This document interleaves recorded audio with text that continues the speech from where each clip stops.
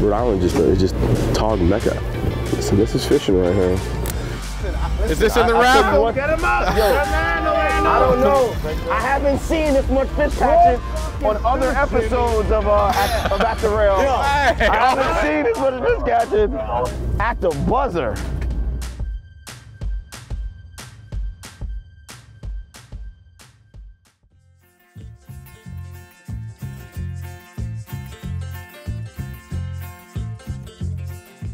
After not catching a single keeper on last year's At the Rail Tog trip, I felt like I had to get back on a party boat headed for the Tog grounds to prove, if only to myself, that I can in fact catch a keeper blackfish on a headboat.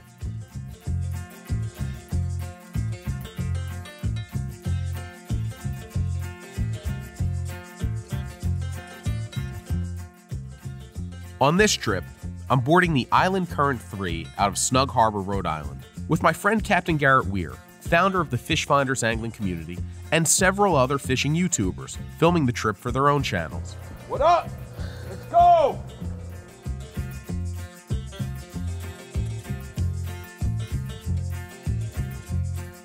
Garrett is obsessed with tog fishing. Every season, he travels from his home in New York to as far away as Maryland and Massachusetts in pursuit of his beloved wrasse. Through PhishPhinders, he organizes trips to introduce more anglers to his favorite fish, while adding some camaraderie and competition to the fishing experience. So PhishPhinders is a company and the baby that I started. Um, some background on me, I grew up in Brooklyn.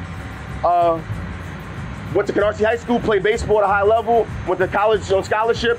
I played baseball at Seton Hall University, went to school on scholarship, and I finished my education at Delaware State University. I have a master's also from Delaware State University. I played pro ball for a couple years up here in Boston, played baseball. So fish, I say that to say when I got back down from playing pro ball, I didn't have a crew of guys to fish with.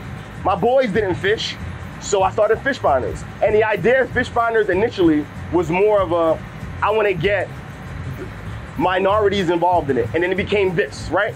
Uh, a diaspora, a utopia, different people, people coming together. That's where the mission statement came from. The mission statement of PhishPhinders is bringing like-minded guys to fish together. And it went from trying to be a more of a minority thing to being a community thing. And that hence the name PhishPhinder Community of Anglers. On PhishPhinders trips, the party boat pool is taken to the extreme. Instead of the optional 5 to $20 on most boats, every angler on a PhishPhinders trip antes up $50 for a pool that is determined not by the biggest fish, but by the biggest two fish combination. This, Garrett explains, removes beginner's luck from the equation, forcing an angler to catch two nice fish to end up in the money. You can also enter side Calcuttas for up to $250. Given my history with headboat tog fishing, the Calcuttas are too rich for my blood, so I toss in my 50 bucks and hope for the best. The Island Current 3 is loaded down with bait, a mix of green and Atlantic rock crabs, better known among tog fishermen as whiteleggers. Whiteleggers are the natural forage for tog at many of the deepwater structures, making them the more preferred bait than green crabs. The trade off is that green crabs are less expensive and more readily available.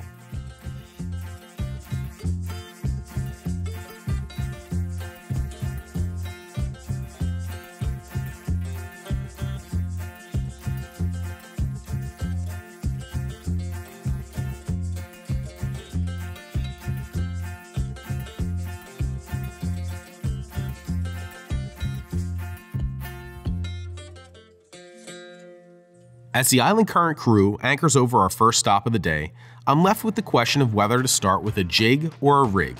Tog jigs are a relatively recent development. These specialized jig heads are baited with crabs and dropped to the bottom, where they sit with the hook upright, making an enticing presentation to the nearby tog. They work best on lighter spinning gear, which makes them a little more fun to fish. But when presenting a larger bait, like a whole whitelegger, two hook rigs are best, and that's what I start with.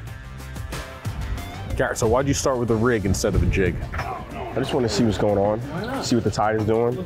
I mean, some days I'll, I'll start with, I'll go right to the jig, you know what I mean? It's a little windy out here, so I want to see what the tide is like. If it's too, if it's too strong, I'll stay with the rig. If it's, if it's something I can handle the jigging, I'll go to the jig. Just want to, you know, I did. I had, a, I had a pool fish yesterday with the with the jig, with the rig, so that's kind of fresh in my mind. So you know, one of those things where what's what's working for you, kind of stick with. For, but I'm, I, I'm definitely jig first.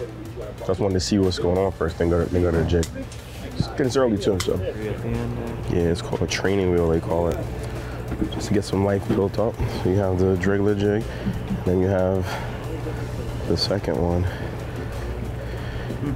just floating. Like to keep it nice and low like that. You have two, two different, two different uh, offerings. There's gonna be some big fish caught today, Trevor. Whew. You see that? You feel, you feel that, that air too, John? You know, you know it too. Huh? That Rhode Island air, it's that big fish air right now.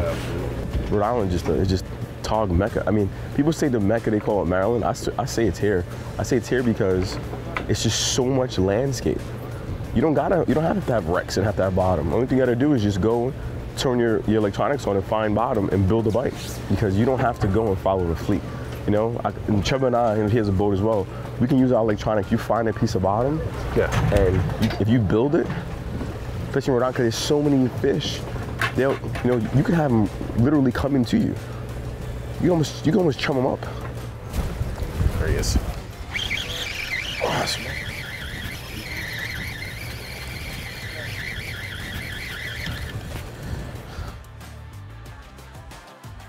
The bite starts slow in the stern with a few shorts and sea bass, but in the bow, Got a big fish alert?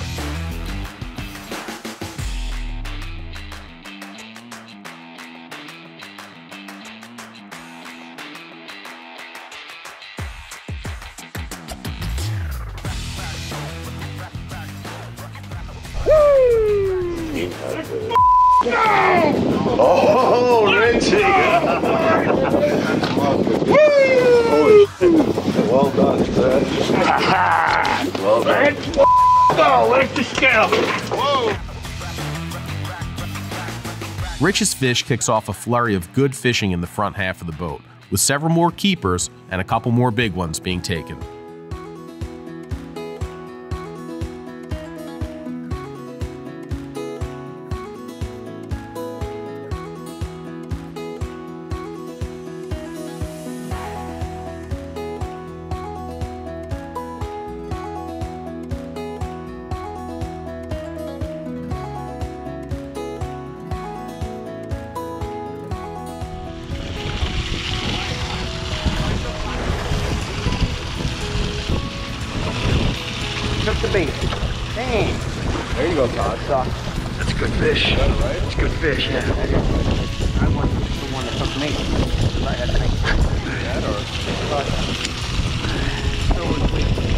No, that ain't no. You docked out, falling in front of that on. Uh, well, I don't want to swing it. I want to break off or something. The bite at our first stop slows, and Captain Scott moves us from an oceanside reef to a bayside wreck.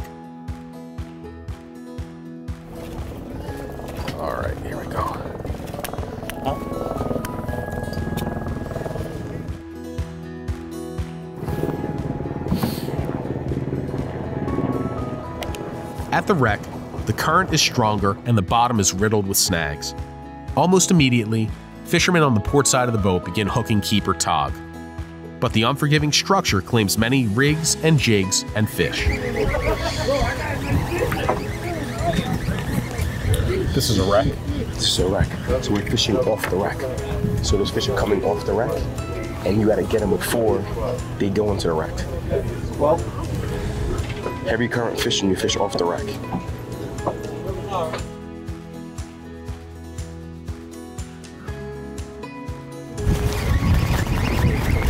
Fishing on credit.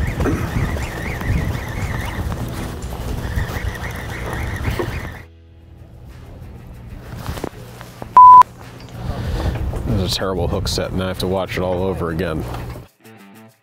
Dealing with small bait stealers is an unavoidable fact of tog fishing.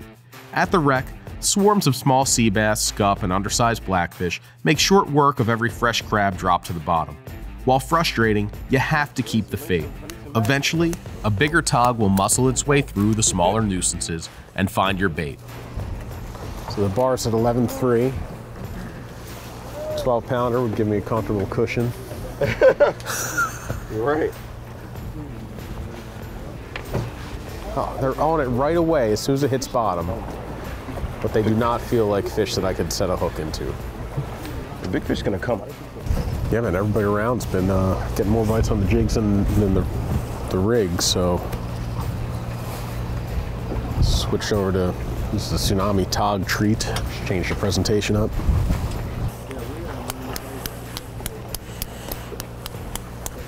Winning this is not gonna be, you know, getting big fish, big fish. You're gonna get a, gonna pick some keepers out of out of place like, oh, got smoked on the way down.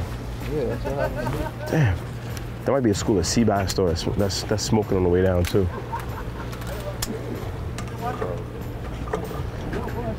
You gotta you gotta pick some keepers, and then when we get on a nice piece, then get one donkey off of it, and that's how it's gonna be won. Listen, this is fishing right here. It's about a game plan, putting the game plan together.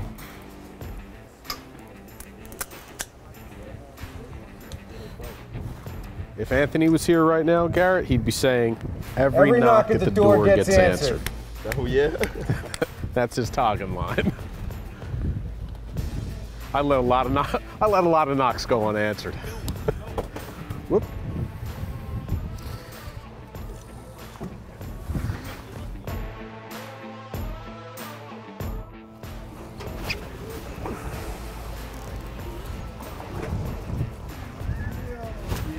That time. That's a, that's, that's a good one. There you go. That's a good one.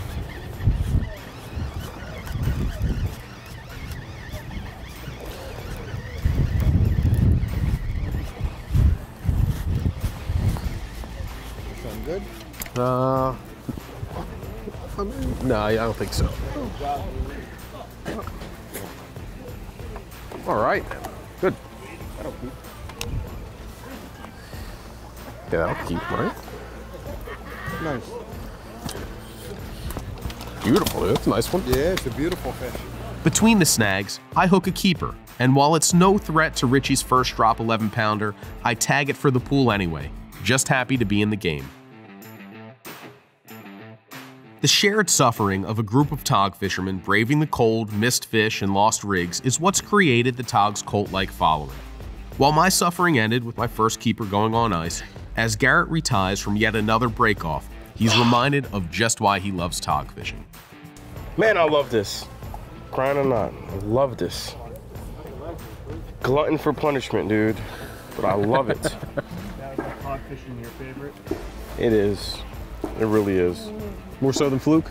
Yeah, absolutely. Way, way more than fluke. I think it separates the men from the boys, you know, especially when it gets cold. You know what I mean? Everybody, a lot of fair weather fishermen. You know, any anybody can go fluke fish in flip flops and t-shirts in the in the, uh, the middle of the summer. You know what I mean? Like, you know, to come out in 20 to 20 mile an hour winds with 40 degrees, and it feels like it's 20 degrees. You know, your hands are frozen, snot, snot's freaking fro- freezing on your face to get that one bite. You know, it's just, it's pretty awesome. This was a good one, man. There's a lot of action here. Just lost so many lost fish, dude. Like you were saying, if you didn't get them up and away from it immediately, It's a lot of a lot of nice fish. Yeah. but this is also the type of place where like it pays to be able to get your rig back tied up quick, man. Like Absolutely.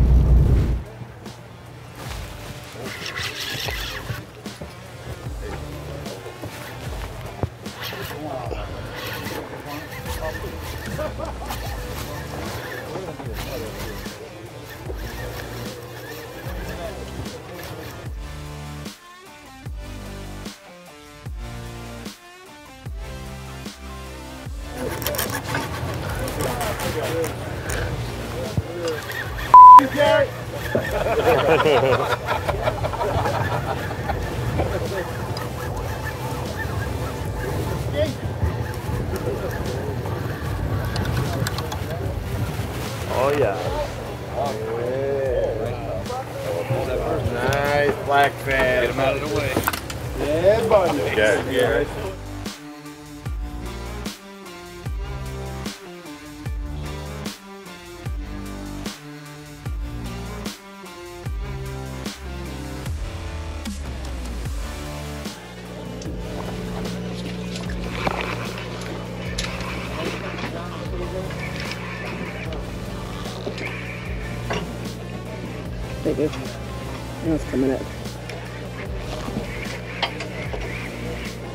I don't like mustard no more. I got it. It's all clean, add it again. Woo! This current is a beast. Jeez. My ride's too long. Got it? Let's Makes it a little go. harder with the tide ripping. Yeah. All throughout the trip, even when the fishing is slow, Garrett's vision for PhishPhinders is on full display. Fishermen trade tips, bust chops, and enjoy time on the water with old friends and new ones. Okay, there was a small section. Where you at? It was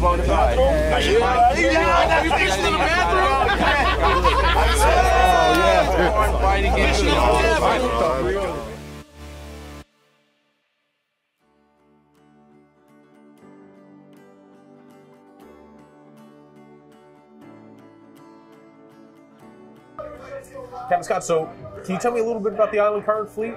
So uh, the Island Current Fleet's been up here in Rhode Island at Snug Harbor Marina for about uh, 12 years now. Yeah, we filmed our 100th episode cod fishing with you guys. Um, Correct. that'd be 10 years ago It was. now. Yep, it was great. I remember I was on that trip actually. That was a good one. So you guys, you used to just come up for the cod, now we, you come up we for the We did cod. so that we rolled that into a little bit earlier this season. Um, we still because we have so many other boats that we're still operating in New York. So we just bring one of the boats here up here to Snug. And that's this one, the Island Current 3. Correct. This is the Island Current Three. This is uh, this is our flagship. We have a bigger boat that we just bought last fall, but this is a better bottom fishing boat with the two anchors and the way it's set up. It's uh, it seems to be a kind of a crowd pleaser for the for the black fishing. So what are some of the stats on this boat? How big is it and how many people can it handle? So we have a uh, 64 foot DMR. The boat was built up in Maine. I believe it was built in 2004. She's got Caterpillar 3406, which is about 900, 1800 total horsepower. It's it's it's pretty pretty comfortable. It's a heavy boat, about 80 tons. That's why it sits so nice in the water. I'd imagine a little bit more compact. It's probably easier to get more guys over the fish, especially It- it- like Correct. this. yeah, it's it's you know it's wide, it's stable. It's just all the things that you need for you know a good platform for, for the bottom fishing. And so, how long have you been uh, with Island Current Fleet? I've been I've been here for 12 years. I started with them when we brought the boat up the first year. Okay. So it's been this is uh, the 12th year for myself as well. And the tog, when do you start the tog fishing in the typical season? and When do you end it? Open opening day is October 15th. Uh, so we bring the boat up for that you know beginning of the of the season. We typically go to about the second week in December. At that point, there's such a demand for the codfish typically that we just kind of end it early and roll right into the cod fishing season. We're still on a on decent bottom because typically at that point we're fishing more by Block Island. Okay. And in the Block Island, you still still you'll still see some blackfish, codfish, and more of a mixed bag toward that second week in December. If you were going to pick a peak time, In the past, it's been good right off the bat. It stays strong all the way to the very end of November. Uh, as long as you have the right weather, uh, north winds, um, all that stuff, all helps to make the fish chew and growl and, and, and happy for everyone. Uh, it's the things that, you know, like the south winds up here aren't very favorable for the bottom fishing, but typically it runs very strong until that first week in December, and then it starts getting a little spotty. Tips for somebody coming on your boat trying to get help them give them an edge over the other guys, an edge over the tog. What uh, what would you recommend to somebody Oh, like myself? You did fine today. Who you kidding? so party boat fishing is tough. Obviously, uh, you always want to have your own personal rod because you feel most comfortable with that opposed to a boat rod. A lot of these people are jig fishing now. That wasn't so big a couple of years ago. It's definitely turning into quite a thing now. I, I, even today, I saw a lot of people using the jigs, and they did they did great. You know, so it's definitely a lighter feel, more action for, for a lot of anglers, a lot more fun. Blackfish is a tricky tricky game. Yeah. You have you have to be fine tuned. There's no drinking the night before. You have you have to really come be, sharp. That's it. You have to come sharp. You have to pay attention. I myself personally, when I fish, I only use one hook. I, I find like the two hook rig will get stuck in the bottom more often. It's just everybody has a preference. You just have to find what works for you.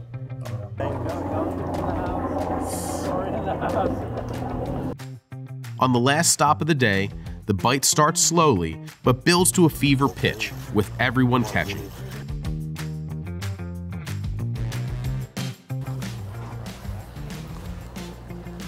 This is pretty nice. Hold hold hold Oh,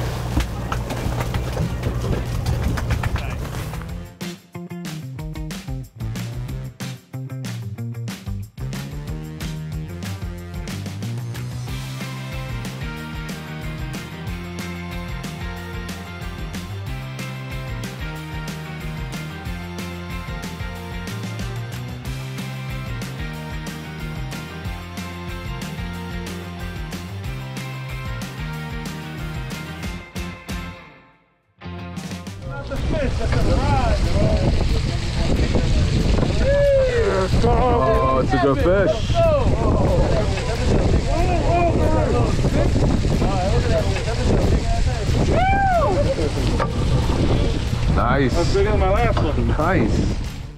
Keepers are coming over the rail all around the boat, right up until the moment that Captain Scott sounds the horn three times, signaling the end of the fishing. Is this in the raffle? Get him up! Turn around, Orlando! I don't know. I haven't seen this much fish catching on other episodes of uh at, of at the rail. I haven't seen this much fish catching. You're saving that all day, right? I wasn't. That's what you were doing? At the buzzer. That was perfect, man. Dude, this is awesome, man. On the ride in, Garrett raffles off a wide range of fishing prizes, another perk of a PhishPhinder's trip. Richie's first fish held on long enough to let him sweep the pool and the Calcuttas, netting him a substantial chunk of change. While my keepers had no real shot at the pool money, I felt rich in spirit as the mates cut the fish and I considered how delicious my tog fillets would be, dusted with seasoned cornmeal, sauteed in butter, and served with a side of redemption.